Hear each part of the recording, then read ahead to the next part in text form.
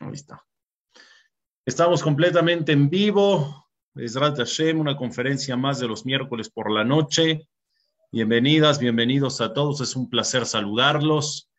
El día de hoy tenemos como tema eh, fuego, agua y desierto. Les voy a explicar por qué el tema es fuego, agua y desierto. Lo que sucede es que hay un midrash, midrash, un relato eh, llamado el Midrash Rabbah, que menciona que Hashem dio la Torah por medio, vamos a decirlo así, de tres cosas. Por medio de fuego, por medio de agua y por medio del desierto. Ustedes saben que la misma Torah fue entregada en un monte, en el monte de Sinai, que está ubicado en un desierto. Ustedes saben que el pueblo de Israel en la travesía en el desierto para entrar a Eretz Israel saliendo de Egipto recibió la Torah. Sin embargo, la Torah misma está también comparada al agua. Así dice el Talmud, en Maim Ela Torah. La Torah y el agua se comparan, pero también la Torah se compara al fuego. Aló de barika esh neumashem. Dice Akadosh mis palabras son como el fuego. ¿Dónde se transmiten las palabras de Dios? ¿Dónde una persona sabe dónde están escritas o cuál es la palabra de Hashem? Si quieres saber la palabra de Hashem, si quieres conocer la palabra de Dios, abre la Torah. La Torah no es más que la palabra de Akadosh Baruj porque sí, la escribió Moshe Rabbenu, pero fue dictada de manera divina, de manera celestial por parte de Akadosh Baruch. Entonces, la palabra de Dios se refiere a la Torah y la misma Torah dice que las palabras de Dios son como el fuego. Quiere decir que la Torah fue dada en el desierto, la Torah es comparada al agua y la, y la Torah misma es comparada también al fuego. Por eso es que el Midrash menciona que la Torah se da por medio de tres cosas. Se da y se recibe por medio de tres cosas, por medio del fuego, por medio del agua y por medio del desierto. ¿Y a qué nos referimos? ¿A qué se refiere que la Torá se da por medio del fuego, del agua y del desierto? Se refiere principalmente a dos cosas. Número uno, a la transmisión, al estudio y al cumplimiento de la Torá. Eso es número uno. Es decir, estudiar Torah, transmitir Torah y cumplir Torah tiene que ser como el fuego, tiene que ser como el agua y tiene que ser como el desierto. Repito cuáles son las tres cosas que tiene que ser como fuego, agua y desierto. Estudiar la Torah, transmitir la Torah y cumplir la Torah. Estas tres cosas, estudiar, transmitir y cumplir, tienen que ser como el fuego, como el agua y como el desierto. Voy a explicar a continuación a qué se refiere, pero no nada más es eso, no nada más es transmitir, estudiar y cumplir, sino punto número dos también, que tiene que ver con el fuego, con el agua y con el desierto, es nada más y nada menos la fe que tienes que tener. ¿Por qué la fe? Porque ustedes saben que toda la Torah está basada en los diez mandamientos. Y los diez mandamientos están basados en la fe que tenemos que tener en Dios. De hecho, el primer mandamiento dice, Anoji Hashem lo queja, Mitzrayim. Tienes que creer, tienes que tener confianza en mí, dice Dios, que soy tu Hashem, soy tu Dios, el que se te sacó de Egipto. El mandamiento número dos acentúa un poco más el tema de la fe en el judaísmo, porque él dice el mandamiento número dos, lo al panay. No solamente tienes que creer en un Dios, sino el motivo o el mandamiento número dos es lo no tendrás otros, otros dioses. Es prohibida la idolatría.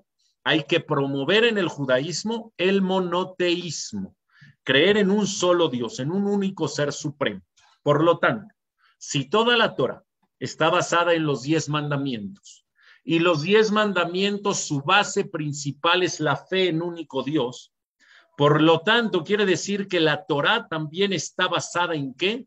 en un tema de fe. Por lo tanto, el punto número dos de la clase del día de hoy que vamos a aprender es que la fe del Yehudí tiene que ser como el fuego, tiene que ser como el agua y tiene que ser como el desierto. Son las dos cosas que vamos a estudiar el día de hoy en la conferencia. Punto número uno, repito, ¿cuáles son las dos cosas que vamos a estudiar en la conferencia? Punto número uno, que estudiar, transmitir y cumplir la Torah son por medio de fuego, agua y desierto, y que la fe del pueblo de Israel, la fe judía, tiene que ser también basada o aprendiendo del fuego, del agua y del desierto. Vamos a empezar entonces con el punto número uno. ¿A qué se refiere? Que estudiar, cumplir y transmitir la Torah tiene que ser como el fuego. ¿A qué se refiere? El fuego representa calor. Y lo que más representa calor en las conductas humanas es el amor. El amor da calor, el amor da calidez, el amor da cercanía. Por eso está escrito Shalevet. Shalevet viene de la palabra, Shalevet quiere decir una llama. Y Shalevet también viene de la palabra lev, que quiere decir corazón. ¿Dónde radica el fuego interno de la persona? El calor interno de la persona, ¿dónde está ese calorcito? En el corazón. Y el corazón es donde ahí se anidan, llamémosle así, los sentimientos de amor, de cariño, de empatía. Por lo tanto, si el fuego es representado por el amor, o más bien dicho, al revés, el amor es representado por el fuego, quiere decir que estudiar, que transmitir y que cumplir la Torah es por medio o forzosamente con amor. Escúchenme bien lo que les voy a decir. En cualquier cosa que ustedes me digan, lo que realmente importa son los resultados. El resultado es lo que importa. Vamos a decir, por ejemplo, en los deportes, en un partido de fútbol, ¿qué es lo que más importa? La victoria. Lo que más importa es quién gana. El resultado es lo que más vale.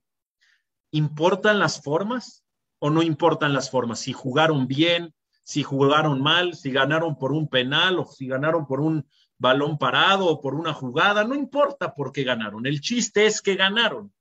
Las personas que son aficionadas a un equipo no exigen tanto las formas, exigen los resultados. Si hay buenos resultados, eres ganador. No hay buenos resultados, aunque jugaste espectacular. Si no tienes buenos resultados porque pierdes, pues la verdad vale de poco el hecho de que hayas jugado muy bien. Pero no solamente en los deportes, por ejemplo, en las materias, en la escuela. ¿Qué es lo que importa? Pues lo que importa o lo que se ve para que pases de año, para que apruebes el año, es el resultado. Tienes seis, tienes siete, tienes ocho, tienes nueve, tienes diez en la boleta. ¿Qué resultado sacaste? Si estudiaste mucho para sacar eso, estudiaste poco, te lo memorizaste o te lo aprendiste o lo copiaste, pues al final pasas de año con el resultado en la boleta. A veces las formas no importan tanto. Lo que importa verdaderamente es el resultado. Eso es en todas las cosas alrededor del mundo. Sin embargo, si ustedes se ponen a pensar en lo que concierne a Dios, en lo que concierne a Shem, a la Torá y al cumplimiento de sus mitzvot, dice a Kadosh Barujú, a mí no me interesan tanto los resultados. Lo que más me interesa a mí es las formas en cómo procuras llegar tú a aquellos resultados. Por lo tanto, no me importa tanto si estudias Torah, lo que me importa más es cómo estudias Torah. No me importa tanto si transmites Torah, me importa más la forma en la que transmites Torah. No me importa tanto si cumples los estatutos, los mandamientos, los preceptos de la Torah. Me importa todavía más las formas en cómo estás cumpliendo.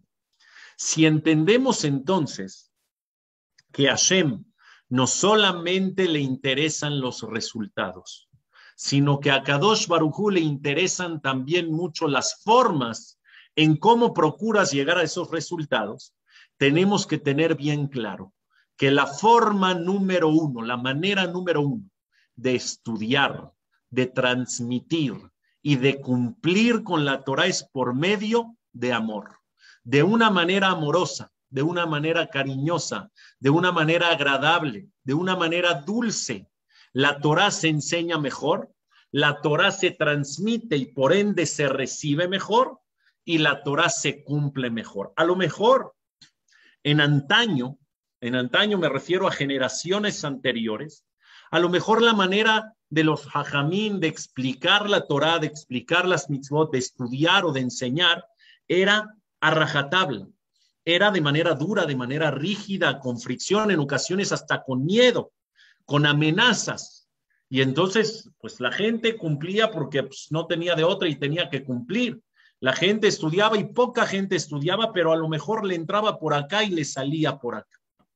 Hoy en día creo, creo yo, y es mi humilde opinión, cada quien puede opinar lo que quiera y es respetable. Hoy en día yo creo que el gran éxito del acercamiento de muchas personas al camino de la Torah, personas que han estado alejadas durante años, y que últimamente Baruch Hashem se han acercado a escuchar Torah, se han escuchado a estudiar Torah, se han acercado a cumplir un poquito las más las mitzvot. Yo creo que el éxito del kiruv, es decir, del acercamiento de mucha gente hoy a la Torah y a las mitzvot, es por la forma nueva o novedosa, llamémosle así, de transmitir de diferentes hajamim alrededor del mundo. Una forma mucho más empática, una forma mucho más dulce, más agradable, con una sonrisa, una forma más amorosa, más cariñosa, de manera en la que entiendes a la persona que está enfrente de ti escuchándote. Las personas que transmiten con amor la Torah, que estudian con amor la Torah y que cumplen con amor la Torah están haciendo la voluntad de Dios. Porque recuerden, a Kadosh Barujú no solamente le interesan los resultados, a Kadosh Barujú le interesan las formas. Y si la forma en la que te estás acercando es me ahavá, es con amor, entonces para Kadosh Barujú vale mucho más. ¿De dónde yo sé que las formas le interesan a Dios? Y que la forma que más le interesa a Dios es la del amor, la del calor, la del fuego, que es lo que venimos hablando. Les voy a decir de dónde sé. Existen dos conceptos de Teshuvah. Dice el Rambam, el Rambam conocido Rabbi Moshe ben Maimón, conocido como el Maimónides. El Maimónides dice que existen dos formas de acercarse a Dios, dos formas de hacer Teshuvah. Una es Teshuvah mir'a y otra es Teshuvah me'ahava. Explico.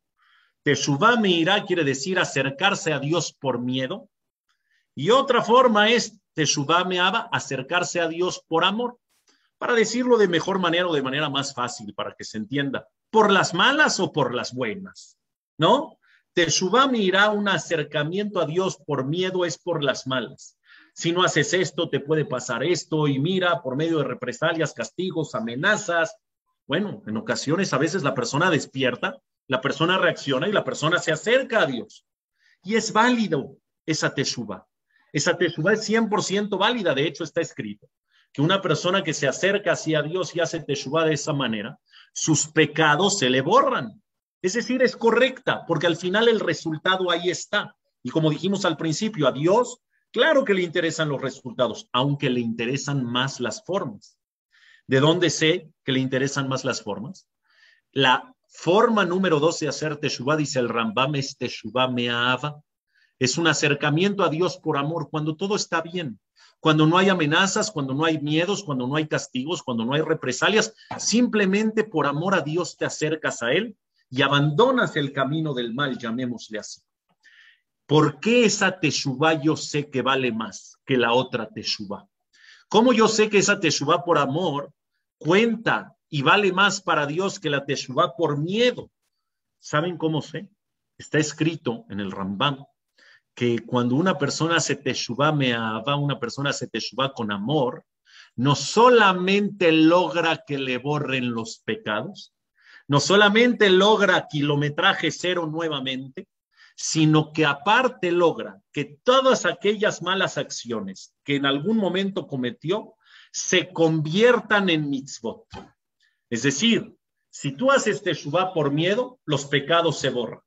Si tú haces teshuvah por amor, no solamente los pecados se borran, sino aparte se convierten en ángeles buenos, se convierten en mitzvot. ¿Por qué? Por la forma, la forma en la que llegaste al camino o acercarte al camino correcto, vale y vale mucho.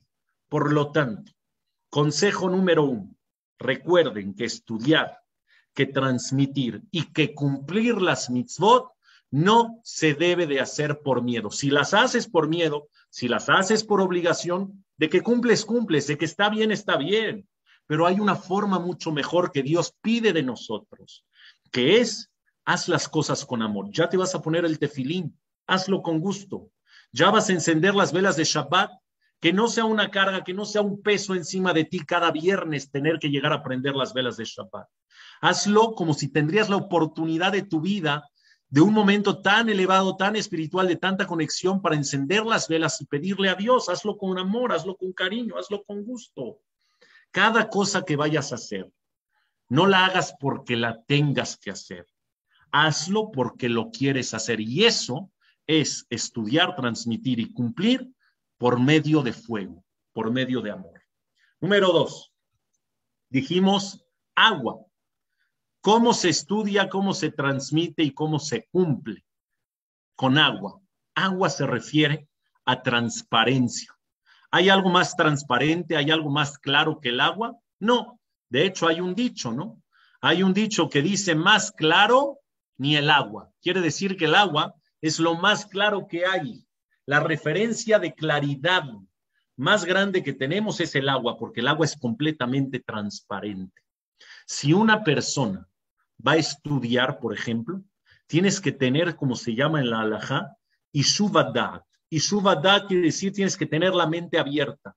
¿Saben cuántas personas se han acercado conmigo en el pasar de mis años? Que doy clases, que ya Baruch Hashem son muchos, ¿Sabes cuántas personas se han sentado a estudiar conmigo, gracias a Dios, con open mind? Open mind quiere decir con la mente abierta, con transparencia, de tal forma que lo que les dices están abiertos a recibir. Pero hay otras tantas personas que seguramente también ustedes conocen o han escuchado, que desde que se sientan a escuchar una clase de Torah o desde que se sientan a estudiar Torah, ya están bloqueados, ya están cerrados, ya no hay claridad, ya no hay una mente transparente, una mente abierta. Todo lo que les diga será usado en tu contra. Por más, a mí me ha tocado.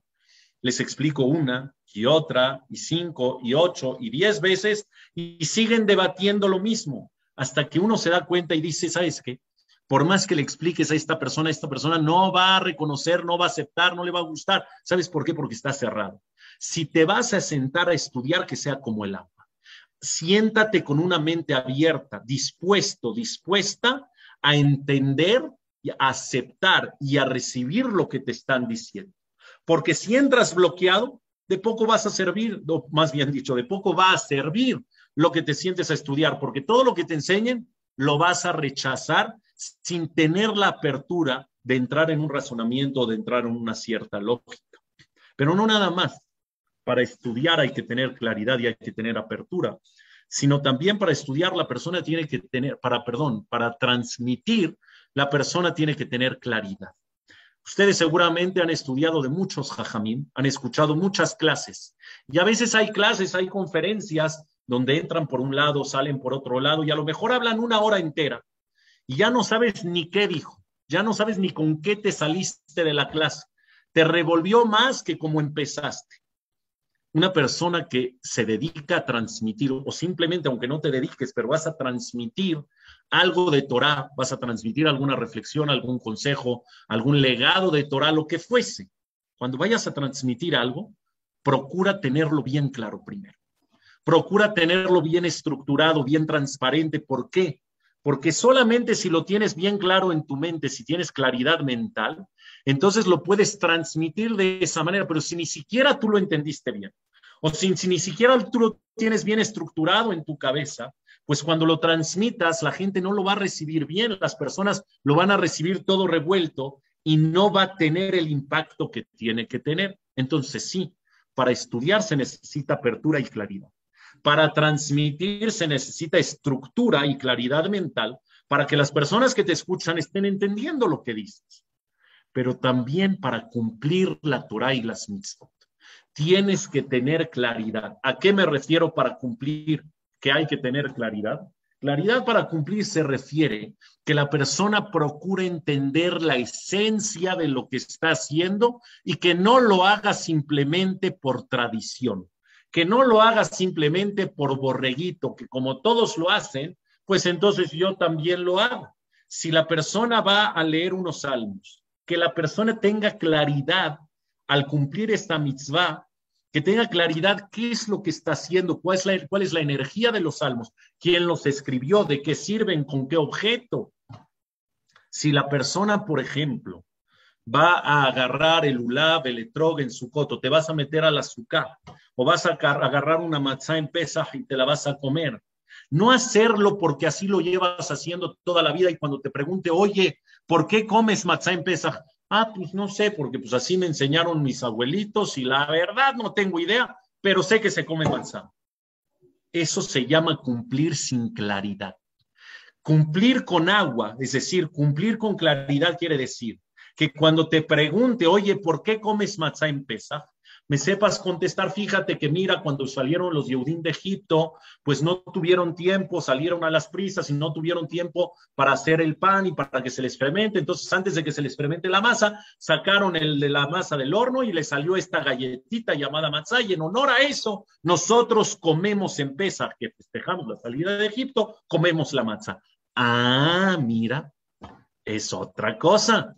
Y si te digo que las cuatro copas van inclinadas, pero pues ¿por qué inclinadas? Pues no sé, seguramente porque eh, el quiropráctico de la, de la época sí había dicho y entonces por eso no, pues no es cuestión de quiroprácticos. Es una cuestión de demostrar Jerú, de demostrar libertad y así absolutamente todo. Tú le puedes preguntar a un señor, ¿Qué quiere decir el tefilín? ¿Por qué te lo pones en la mano izquierda? ¿Por qué lo amarras aquí en el brazo? ¿Por qué te lo pones entre los ojos? A lo mejor tiene poniendo los 50 años. 50 años día con día se lo pone y le preguntas la razón y te dice, híjole, la verdad no sé qué significa, no sé ni siquiera lo que tiene adentro el tefilín, no sé por qué en el brazo, no sé por qué en la cabeza, no sé de dónde está escrito. De que la mitzvah se cumple, se cumple, porque ahí está el resultado. Pero recuerden lo que dijimos, las formas para Hashem valen mucho. Y otra de las formas es que cuando vayas a cumplir, la cumplas con claridad, es decir, con esencia, con sentido, con razón y raciocinio, lógica de lo que estás haciendo. Todas las mismas. Para ello, obviamente es fundamental sentarse a estudiar. Si la persona se siente a estudiar, pues entonces en gran mayoría va a saber la esencia, la razón, el motivo, el origen de cada una de las cosas que hace día con día. Pero si no te sientes a estudiar, pues a lo mejor vas a hacer las mitzvot que sueles hacer como de costumbre desde que naciste, como te educaron, pero sin esencia, sin sentido, sin claridad. Entonces ya vamos fuego y ya vamos agua. Desierto. ¿Qué quiere decir desierto? ¿Qué representa el desierto? El, el desierto representa humildad. El desierto representa procurar estudiar, procurar transmitir, y procurar cumplir la Torah con humildad. ¿A qué se refiere con humildad? No porque yo cumplo más que tú, no porque yo estudio más que tú, no porque yo transmito más que tú, valgo más que tú. No valgo más. Al final de cuentas, todos somos hijos de Akadosh Barujú. Akadosh Barujú nos quiere a todos y Akadosh Barujú no pide que todos seamos hajamín y que todos transmitamos y nos dediquemos a estudiar Torah todo el día. No, no. Cada quien tiene su rol en la vida. Uno va a ser abogado, uno va a ser contador, uno va a ser bombero, uno va a ser policía, uno va a ser jajam, uno va a ser eh, chofer, uno va a ser arquitecto. Cada quien tiene su rol en la vida, pero todos somos Yehudim. Y todos los que somos Yehudim a nuestro nivel, cada quien a su nivel, estudia lo que puede estudiar, estudia la cantidad de horas que puede, transmite lo que puede y cumple también lo que puede. Y no por eso uno es más que otro. Puede existir, de hecho, puede existir que después de 120 años, una persona que no cumplió tanto tenga un mejor lugar allá arriba en el cielo, más VIP, que una persona que a lo mejor cumplió más. Por lo tanto, solamente Dios sabe sus cuentas. Si remó contra corriente, si le costó más trabajo, si más sacrificio, Dios tiene sus cuentas. Pero si entendemos que no porque hagas más o cumplas más, vales más que los demás, todos somos iguales y todos tenemos que respetarnos entre nosotros y valorarnos entre nosotros, eso es humildad. Cuando te sientes a estudiar Torah, siéntate a estudiar Torah con humildad. Si vas a transmitirle a alguien Torah, transmítele con humildad. No digas, yo soy el jajam, él es el alumno, entonces yo aquí te sientes y te, te muestras prepotente. No, no, no. No, no, no porque tú cumplas más que el otro, puedes mostrarte con presunción, con prepotencia, al nivel de todos. Todos somos iguales, tú vales mucho, yo valgo mucho. Y Baruch Hashem, yo tengo nivel de Torah y por eso te enseño a ti. Entonces, en el primer punto que dijimos que íbamos a estudiar en la clase, que es estudiar, transmitir y cumplir con fuego, con agua y desierto, ya lo entendimos. Se estudia, se cumple y se transmite con amor, fuego. Se estudia, se transmite y se cumple con agua, con claridad. Y se estudia, se cumple y se transmite con humildad, desierto. Pero dijimos que también la Torá que se entregó por medio de estas tres cosas, el punto número dos que íbamos a abordar en la clase es que la Torá tienes que ver y está basada en la fe de la persona, en la imuná, en el bitajón. Como dice el Jobat Levavot, que si la persona no tiene muná y no tiene bitajón, no tiene nada. No empieza el judaísmo. El judaísmo comienza, el primer paso del judaísmo antes de estudiar Torah, antes de cumplir cualquier mitzvah. El paso número uno que el yudí tiene que dar es arraigar dentro de su corazón emuná y bitajón, que quiere decir fe, confianza y seguridad en Dios. Si entendemos que esa es la base de nuestra religión, esta base de nuestra religión que está basada, valga la redundancia, en la Torah, tiene que ver también con fuego, con agua y con desierto. Explico a continuación. Abraham vino, ustedes saben la historia con Abraham vino y el rey Nimrod, seguro. Bueno, no sé si saben la historia, pero la canción seguro se la saben. Cuando el rey Nimrod al campo salía, Abraham vino, padre querido, se sabe en la canción. ¿Por qué? ¿Qué tienen que ver Abraham Avinu y Nimrod? Obviamente, cuando Nimrod ya era un rey de muchos años, que fue el primer tirano de la historia, Nimrod era un rey muy idólatra, muy tirano, con mucho, mucho poder. Fue el primer rey, dice la Gemara, fue el primer rey en usar corona. Antes del rey Nimrod, los reyes ni siquiera usaban corona. El rey Nimrod por primera vez usó corona y eso lo, lo distinguía, lo distanciaba de la demás gente, de los plebeyos. Pero el rey Nimrod ya cuando era viejo, Abraham vino era un bebé, era un chiquitito, estaba nacido apenas. Y cuando nació Abraham vino, astrológicamente los astrólogos del rey Nimrod le dijeron, nació un alma especial, un alma que tiene la capacidad de erradicar la idolatría del mundo. Así que aguas. Entonces el rey Nimrod fue y por medio de la astrología entendieron que era la Neshama, que era esta persona, Abraham vino que había nacido, y ordenó matarlo para no hacerles la historia larga, porque es una historia larga, pero ordenó echarlo a la hoguera, vivo, que lo quemen vivo a Abraham vino. Y lo echaron a la hoguera. Y Abraham vino en vez de quemarse, simplemente bailaba dentro de las llamas de fuego y simplemente Abraham vino, alababa el nombre de Akadosh Baruj, milagro, milagro sobrenatural por la confianza que tenía Abraham Avinu, pero lo que no saben es lo siguiente. Abraham Avinu podría haberse ahorrado ese milagro. Abraham Avinu podría haberse ahorrado el hecho de que no lo echen a la hoguera. Lo único que pedía el rey Nimrod de él para que no lo echen a la hoguera, ¿sabes qué era? Que reconozca que no solamente existe Hashem, sino que hay otros dioses. De hecho, el dios principal de Nimrod, ¿saben cuál era? El fuego. El fuego era el dios de Nimrod. Entonces dijo, mi fuego, mi dios, va a quemar a Abraham Avinu, que cree en un solo dios. Por lo tanto, Nimrod le dijo, antes de que te echen al fuego, reconoce, hazle una reverencia, haz la idolatría al fuego y a otros dioses y no te va a pasar nada. De hecho, la madre de Abraham Avinu se acercó y le dijo, Abraham, por favor, salva tu vida, no seas tonto. Haz idolatría y no te hace nada y salvas tu vida, le dijo Abraham vino a su madre. Hay tres pecados, Yarek, Beal y Abor, hay tres pecados que la persona, aunque lo mate, no puede transgredir y uno de esos pecados es la idolatría. Mamá, yo sé lo que estoy haciendo, no voy a hacer idolatría y Dios me va a salvar. Díganme si no, ¿demostró fe o no demostró fe? ¿Demostró fe? Uf, una fe que pocos de nosotros podríamos llegar a tener.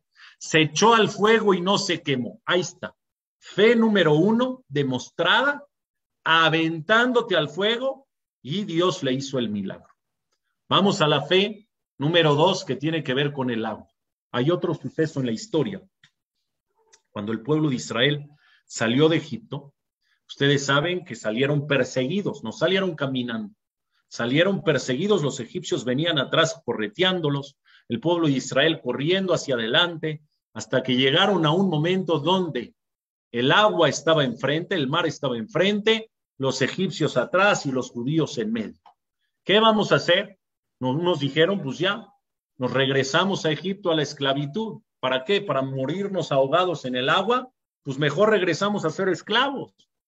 Hubo una sola persona que siguió avante y siguió adelante con su fe. Y dijo, si Dios ya nos sacó por medio de las plagas milagrosas, ya vimos la mano de Dios, ya nos hizo milagros sobrenaturales, ¿tú crees que Dios nos va a traicionar ahora en este momento? Hay que confiar en Él, hay que tener fe. ¿Y qué hizo? ¿Cómo se llamaba este hombre? Nachshon ben Aminadab. Nachshon ben Aminadab se aventó a dónde? Al agua. Se aventó al agua y a Kadosh Barujú le partió el mar a él y después a todos los judíos que venían caminando detrás de él. Díganme si no, Nachshon Ben Aminadab demostró fe o no demostró fe. Demostró fe nadie más que él. Puso los pies en el agua, no nada más los pies, caminó en el agua hasta que está escrito en, el, en la Torah, Yumay Madnafesh, le llegó el agua hasta el espíritu, el espíritu entra por la nariz. Es decir, cuando el nivel del agua ya le llegaba a la nariz, estaba a punto de ahogarse, ahí Dios hizo el milagro. Ahí está en la historia una fe demostrada por medio de que un hombre, Nachshon Ben Aminadab, se aventó al agua confiando a ciegas en Akadosh Baruch. Número tres, fe demostrada por medio del desierto. ¿A qué se refiere fe por medio del desierto? Fácil el suceso. El mismo pueblo de Israel que salió de Egipto, después que Akadosh Baruj les partió el mar, ¿Cuántos años estuvieron en la travesía en el desierto para llegar a Eretz Israel? 40 años. 40 años a la interperie. Yo quiero que nos dejen un día sin celular, sin conexión, sin provisiones, un día en el desierto. A ver qué pasa de nosotros, a ver dónde está nuestra fe. El pueblo de Israel salió al desierto a caminar durante 40 años de Eretz los Zeruá, dice la Torah en una tierra sin sembradío alguno, en una tierra seca, en un desierto, sin agua, sin comida, sin protección alguna, a la intemperie, con frío, con calor, con lluvia, con animales salvajes. Pero el pueblo de Israel nunca trastabilló en su fe. Claro que se quejaron, claro que se agobiaron, claro que se angustiaron, pero nunca perdieron la fe. Caminaron, voy derecho y no me quito, y a Kadosh Barujú les mandó comida del cielo, y a Kadosh Barujú les puso un manantial natural de agua, y a Kadosh Barujú les mandó las nubes que los protegían a los lados, arriba y abajo, y una nube enfrente para guiarles el camino y aplanarles el camino. ¿Se necesita fe o no se necesita fe? Para caminar sin provisiones y sin protección alguna durante 40 años en el desierto, ¿el pueblo de Israel se lanzó? Sí se lanzó a ojos cerrados confiando en Dios. Quiere decir que en la historia del judaísmo vemos demostraciones de fe con fuego. Abraham vino que se echó a la hoguera.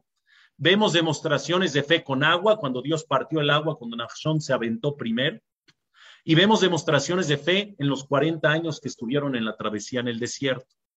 Pero ¿cuál es el común denominador de estas tres cosas o de estas tres historias? Una con fuego, una con agua, una con desierto. ¿Cuál es el común denominador? El común denominador es que tuvieron Mesirut Nefesh. Mesirut Nefesh quiere decir que estuvieron dispuestos a entregar su vida y a no perder nunca la fe en Dios, en su ideología y en sus tradiciones. Ellos nunca traicionaron a Dios, aún creyendo que podían perder la vida, aún en una situación de riesgo extremo, ellos siguieron con ojos cerrados, creyendo y confiando en Akadosh Baruch. Y a lo mejor dices, bueno, Abraham vino, un Ben Aminadab, la generación del, de Yetziat Mitzrayim, bueno, eran otros niveles y hace miles de años pero no nos remontemos tanto. Vean ustedes en la Shoah, lo alenu, Dios no lo quiera. ¿Cuántas personas, Dios no lo quiera, perdieron la vida? Y nunca claudicaron en su fe a Dios, porque no siempre Dios hace los milagros, ya Dios sabrá y tendrá sus cuentas cuándo hace milagro y cuándo no hace milagro.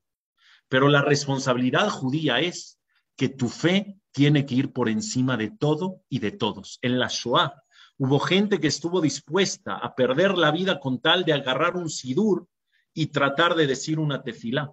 Hubo gente que estuvo dispuesta a dar su porción de pan, que era lo que tenían que comer para toda la semana, no para el día.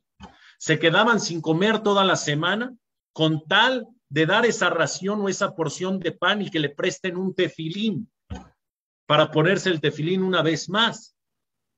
Es decir, la fe judía Ojalá que Besrat Hashem siempre sea por las buenas, siempre sea con paz, siempre sea con tranquilidad, con seguridad, con alegría, que podamos servir a Dios de manera tranquila. Ojalá siempre sea así.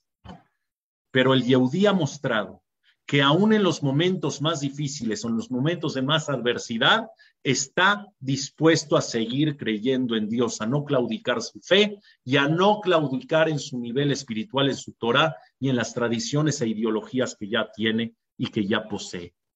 Eso es la fe con fuego, con agua y con desierto. El día de hoy estudiamos y se termina la clase porque son 8.46 de la noche. Ya saben que a mí me gusta acabar puntualito, pero el día de hoy, ¿qué estudiamos?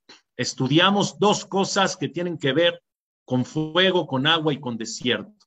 Número uno, que se transmite, se estudia y se cumple con fuego, con amor, con agua, con claridad, con desierto, con humildad.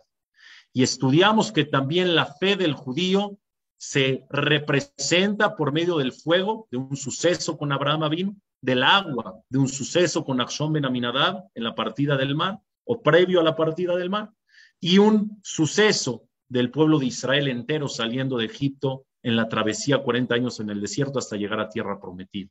El común denominador de esas tres es que en las buenas y en las mejores la persona tiene que seguir en pie en su judaísmo, en su fe y en sus tradiciones. Ojalá siempre sean en las buenas y en cosas hermosas. Que tengan todos muy bonita noche.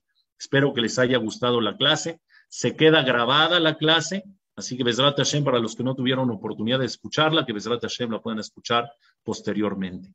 En este momento,